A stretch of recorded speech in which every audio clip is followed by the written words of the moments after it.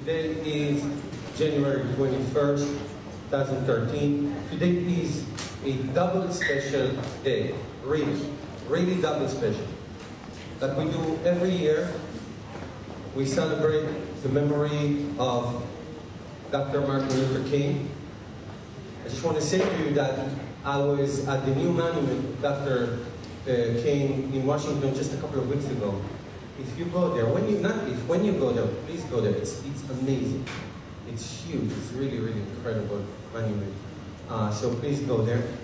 Today just happened divine intervention. That today is also inauguration. Uh, President Obama is going to be sworn in again today. You know that you know that he was sworn in yesterday also. Did you know that? Kids, not parents. Kids, did you know that? Not yet. One person did. Okay. Yes, many. Okay. Do you know why yesterday also? You know why he was sworn in yesterday also? Not you. Kids, do you know why he was sworn in yesterday? Yes, or uh, Eli. Ella. Said. Okay. No. What? Not only that. Not only that. He was sworn in yesterday because today, yesterday was the 20th, and by the Constitution, by 12, by 12 o'clock, middle of the day, his first term is over, so he had to be sworn in. So he was sworn in five minutes before 12. And today is what we call the public ceremony. So he, had to be sworn yesterday as well, so he was sworn in yesterday. Okay? Uh, today, your teachers will show you in class a live stream of the inauguration in the middle of the day. In here, Dr. Bahar said in here, so she, she knows. Okay? We're going to show you live streaming. He's going to use two Bibles. Every president can choose any Bible they want. I can't wait for the first Jewish president. I wonder which Bible he's going to use. I wish we lived to see that day. So he's going to use two Bibles. Usually they use one. You're going to use two Bibles. One is going to be the Bible from Martin Luther King Church, and the other one is the Bible that President Lincoln used. So it's going to be an incredible, incredible day. And we are all going now, going not to join, to learn the history of Martin Luther King from a wonderful third grade, and their teachers have prepared a very appropriate uh, program for us. So, Kita Gimel, are you ready? Okay, okay, here's your microphones, you know what to do.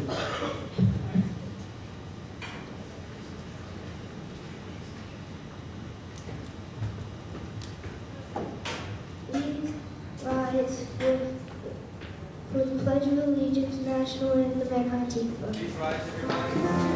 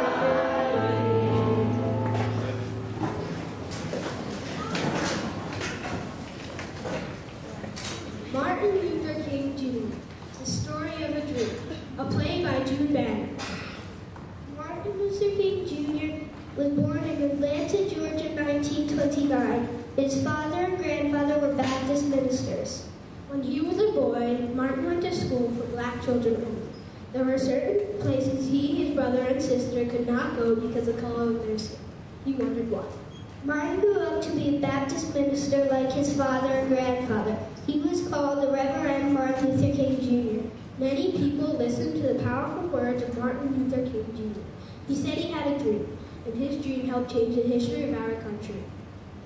Martin grew up to be Martin lived in a time when there was a need for change. We will see how his dream helped to bring about that change.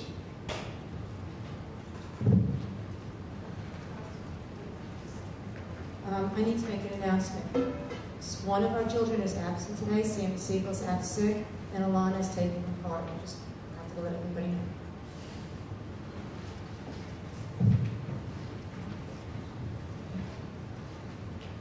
This month, we celebrate the birthday of a great American. His name is Martin Luther King Jr. Why so great? What did he do? I've heard his name, but I don't know why he was so famous. Which one of you can tell us something about Martin Luther King Jr.? My grandmother, my my grandmother, my grandmother remembers when my grandmother lives in Montgomery. That's in Alabama. She told me all about him. Tell us what she told you. Martin Luther King was a preacher in Montgomery, and my grandmother went to his church. She said that a long time ago there was a law in Alabama that black people had to sit in the back of city buses. If a bus was crowded, they had to stand up when white people wanted their seats. Who ever heard of a law like that? Besides, what does it have to do with Martin Luther King?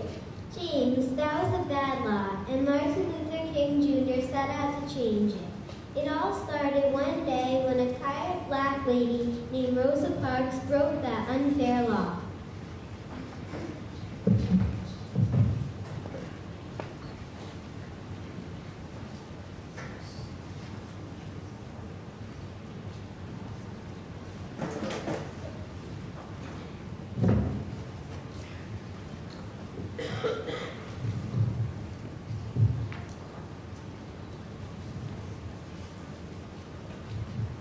All right, are you black folks? Let's get up and move to the back of the bus. White people need seats. Lady, gonna have to move. Lady, if you don't move, I'm gonna have to call the policeman out here. Go ahead and call him. Oh, officer, officer. Driver asked you to stand up. Why didn't? You think it's right that I should have to stand up for white folks? I don't know, but the law is the law. I'll have to arrest you and take you down to jail for breaking the law.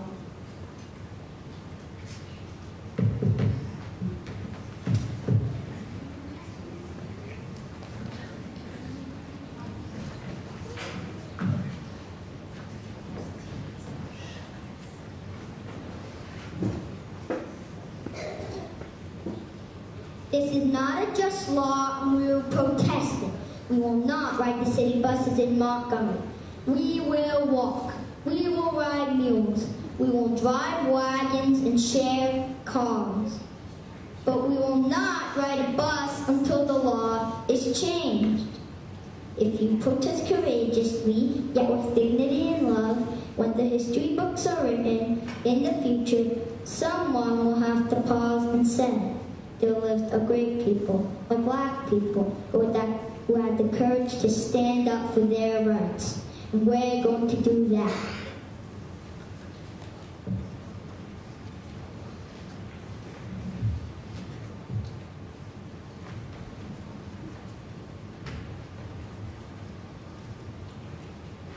Wow, what happened? Martin Luther King Jr. and his people did not ride the Montgomery buses for a whole year. Did they change the law? Yes, James. The United States Supreme Court decided that people riding on buses could not separated or segregated because of the color of their skin. Then Martin Luther King all the people everywhere. Yes, Didn't they, Miss York? yes, and it was the first of many victories, boys and girls. Dr. King became the voice of black people across the land. Is that the way? Is that the way? Is that all he did? Just make it so people could sit down on buses? My grandmother said he walked a lot. What did he march for? Martin Luther King Jr. was a peaceful man. He did not believe in violence. He thought marching was better than fighting. He led what were called freedom walks or peaceful protest marches.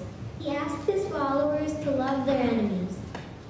Is that the way he got people to pay attention and listen? Yes, Ida, his marches brought bad laws to the attention of people everywhere, including those who made the laws. It makes you feel bad.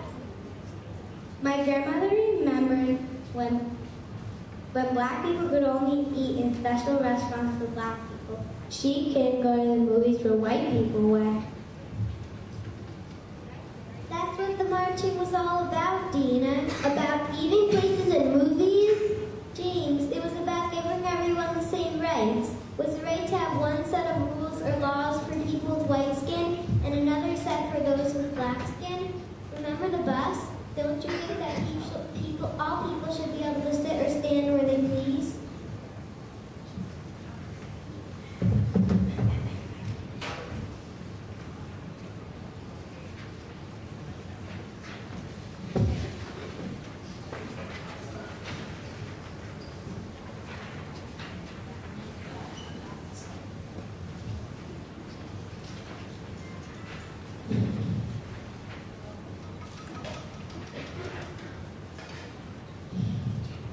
Brothers, this is a peaceful freedom march. The people of our country will see us and hear our voices.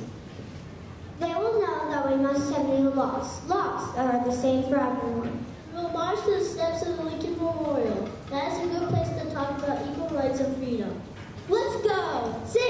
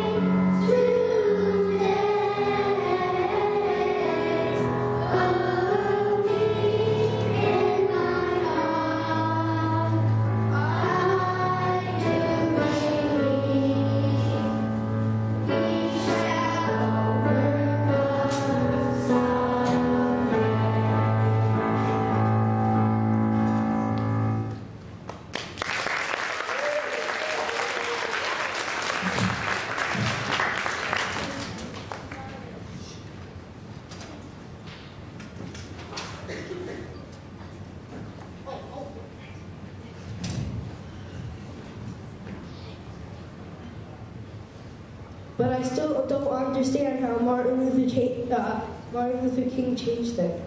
New laws were needed to bring change, David. Martin Luther King Jr. marched and preached about the need for change and the right to equal laws and treatment for everyone. Many important people, both black and white, heard his words.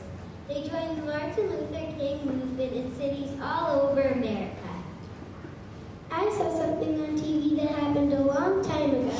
Marchers were carrying signs and there were so many people you couldn't even see the streets or sidewalks.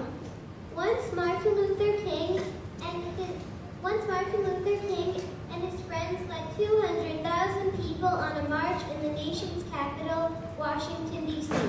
It was the biggest public action by a group of people in the history of our country.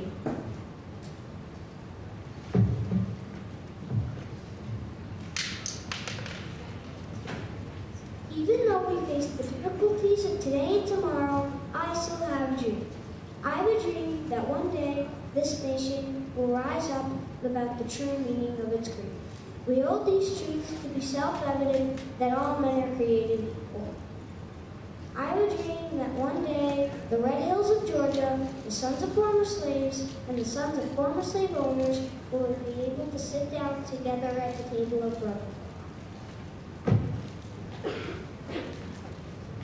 I have a dream. My four little children one day will live in a nation where they, are, where, they will not be judged by the color, for the color of their skin, but by the content of their character. When we allow freedom to reign in every town and every hamlet, we will speed up to that day when all God's children will be able to join hands and sing the words of the old Negro spiritual, Free at last, free at last, great God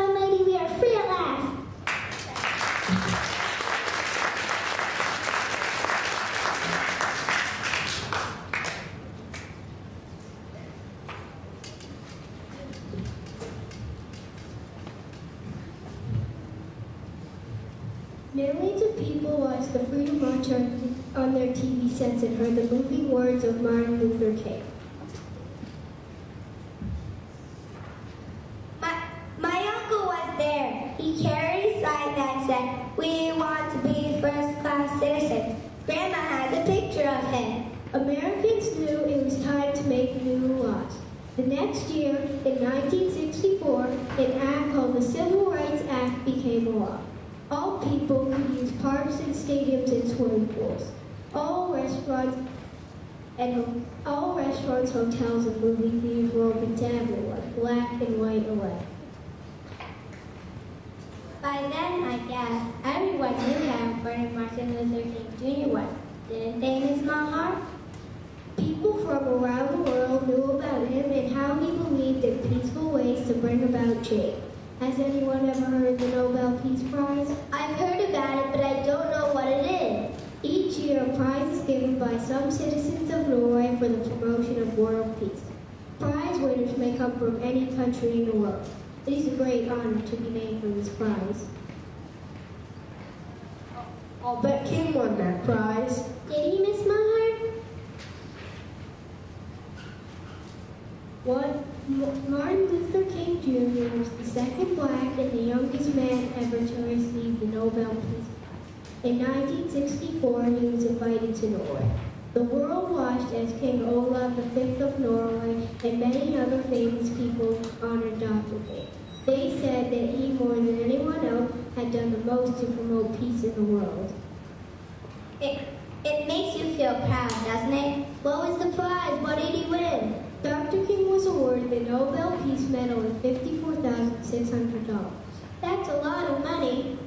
What did he do with all that money? He didn't keep it for himself. He used it to help make his dream of freedom come true.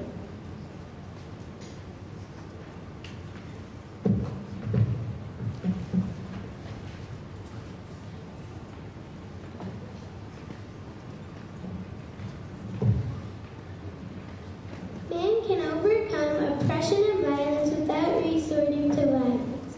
The Nobel Peace Prize personal honor. It is a tribute to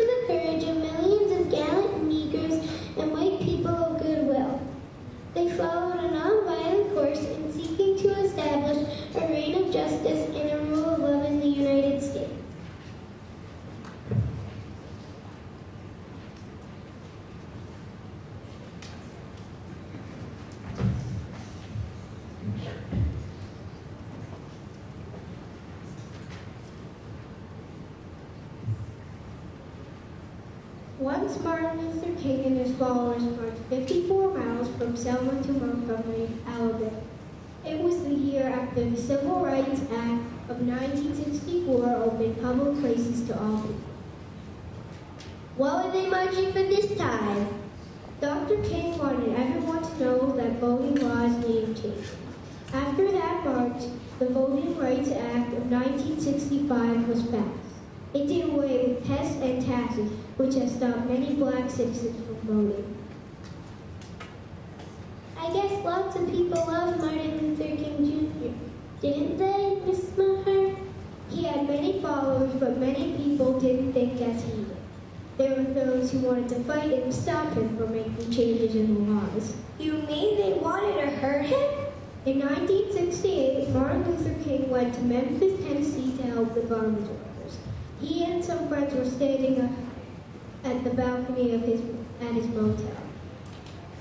Suddenly, the echo of a shot was heard, and Martin Luther King slumped to the floor. What happened? Somebody shot him. Martin Luther King was killed by an assassin. A man filled with hate took the life of a man who preached love. What a terrible thing to happen to such a good man.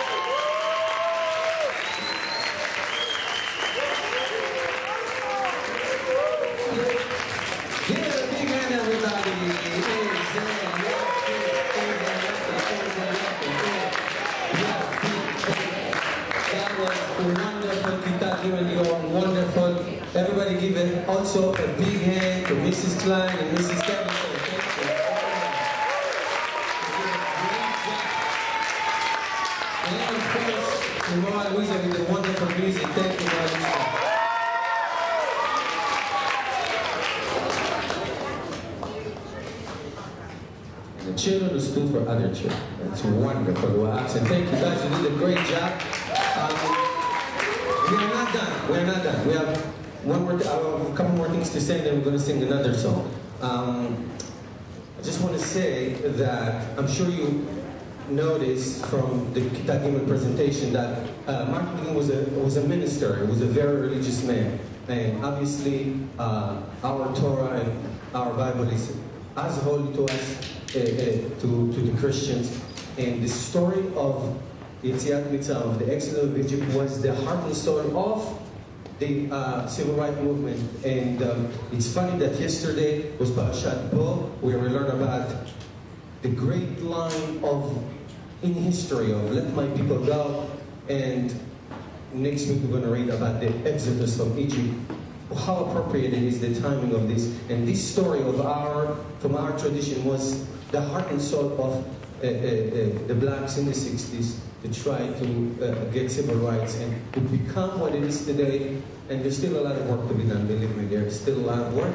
And so we are so, many Jews were part of the civil rights movement and we've always been in the, in the, in, on the side of freedom for everybody. Let's sing a song for our wonderful country. Please rise for God Bless America.